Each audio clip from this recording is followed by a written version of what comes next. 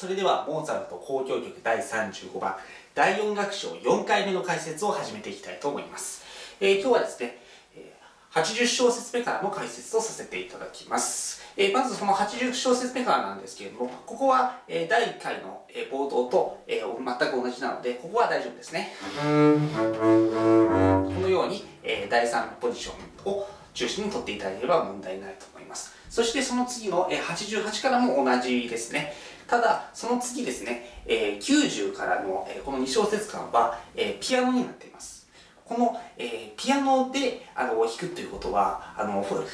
1回目の時のフォルテよりもはぐるかに難しいことですのでここも、え、特に、えー、テンポをゆっくりしたテンポから上げていくっていうのはあの以前お話ししたんですけれどもここも、えー、特に、え強弱なんですけれどもここも、えだんだん少しずつ弱くしていくというこういう練習を、えー、取っていただきたいと思います。まずこの、え特に、えピアノでこの素早いテンポで演奏するっていうのは非常に難しいということですしまさそしてその後のその前がフォルテですからあの相当大変な箇所になりますのでねここもしっかり何回も部分練習をしていただくことに尽きると思います。そして、えーと、92なんですけれどもここはその前ので動いてますので、えここも、え第2第3の中間のポジションを中心に414っていうふうに取っていただいても構いませんしあるいは、えっと、この第3ポジションの流れから214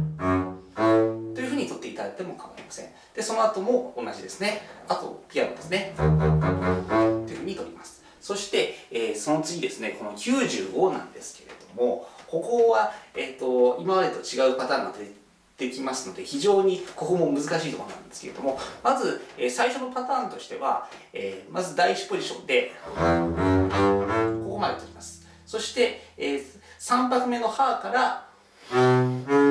えー、ポジションを移動して第2第3の中間で、えー、14と取りましてその後、えー、第4ポジションで、えー、ディスとハを、えー、2と4というふうに取ります。そしてそのままの状態でえー、その次の小節を3拍目までを、えー、全て同じポジションで取ります。その後この次の芸を開放で取ってる間に、えー、ポジションを第1ポジションに戻して最後の1拍の、えー、4拍目の裏ですね。4拍目の裏のハーの音を第1ポジションゲーセンの第1ポジションで取るという、えー、これを、えー、おすすめしたいと思います。えー、初めからやりますと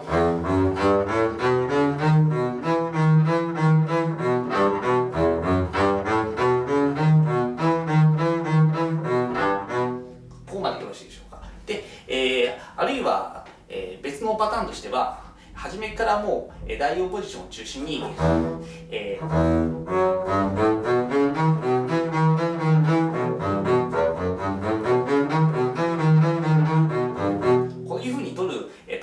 ですけれども、まあ、これはあのポジション移動があの大変だっていう大変じゃなくなるっていうメリットあるんですけどもしっかり、えー、かなり力がいりますので特にこういう素早いあの、えー、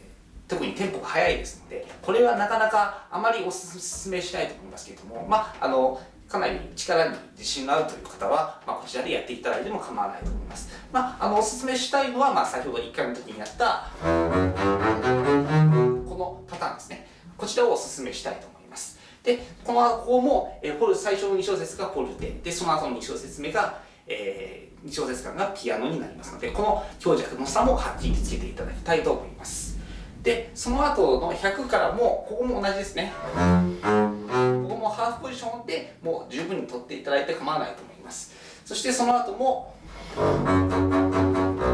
こ、も大丈夫ですねあの第1ポジションで取れれば問題ないと思いますしでそのそれ以降の110小節目からも、えー、っと38小節目からの、えー、をほぼ踏襲した形になりますのでここも、えー、問題ないと思います。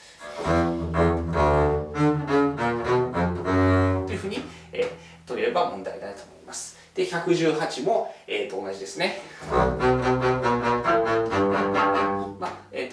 あえてあの開放でゲームを開放で取っていただいたら十分だと思います。はい。えーと、こんな感じで、えーと、100ここは大丈夫だと思います。そして、えーと、134からの、えー、この4小、えー、と5小節目間なんですけれどもここは、え、まだ後日、え、番外編を設けて、え、どういうふうに取ればいいのかというのを、えベストなポジションというのをまた別に番外編を設けて、えたっぷりとここは、え解説させていただきたいと思います。はい、えーと、第4回の解説は以上になります。ではまた次回。